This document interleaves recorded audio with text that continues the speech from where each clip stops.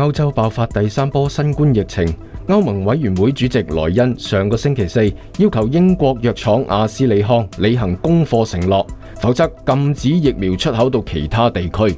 英国广播公司文章指出，法国指责英国喺处理疫苗出口问题上边存在敲诈行为。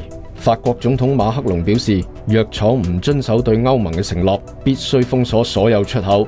法国呼吁欧盟实施更严格嘅疫苗出口管制。相比起欧盟二十七个成员国，英国目前嘅疫苗接种工作更加成功。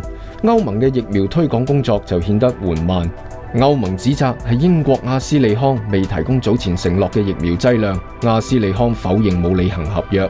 英国首相约翰逊警告欧盟严格嘅出口管制可能会对其他成员国嘅投资造成负面影响。